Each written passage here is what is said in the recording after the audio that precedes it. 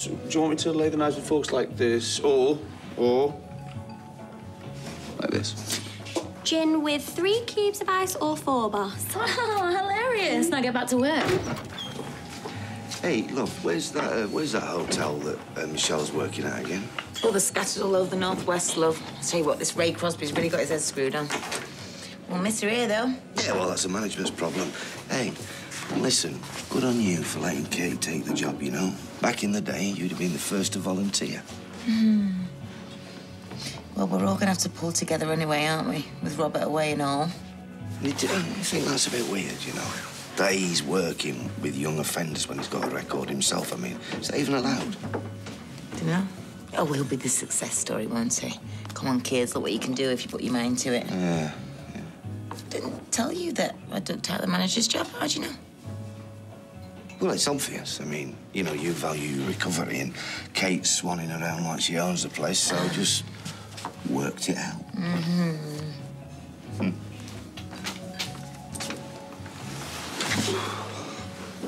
Here. Don't go to the house. Don't go anywhere near. Take my calls, and I won't need to. Imogen, honest, it's just nice to feel wanted. Jenny's rebuilding the pub, and I'm so in the way. I, I heard her telling one of the regulars that she couldn't wait to get me off her hands. Yeah, hashtag freedom. Uh, when the time comes to it, I won't need to pack. She'll have my rucksack waiting for me by the door. Imogen, sorry, I've got to go. Bye. Awkward. No, love. Just downright wrong. You leave it with me. Dad, I It doesn't matter. Even if it was meant as a joke, I'm not laughing.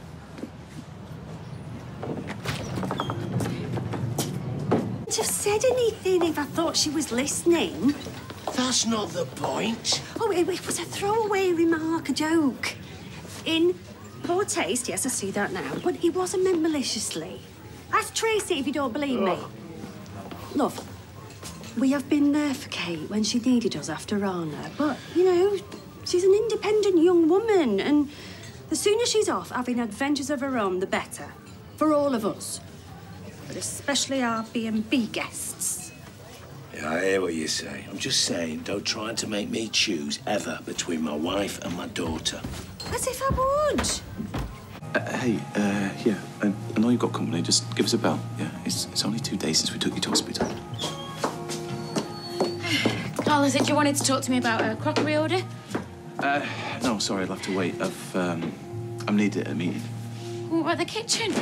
Well, give Tom a ring. He's on the entire street. His number's in there.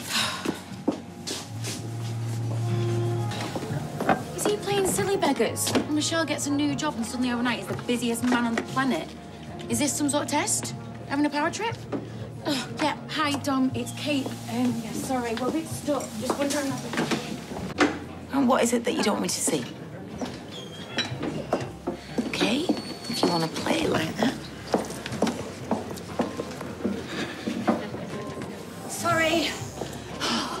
Ran. You already ordered. Only the stuff that matters. Here for the lady. Uh, I'm just explaining that the steak comes served on a board. Wood. Here we go. It's like a chopping board.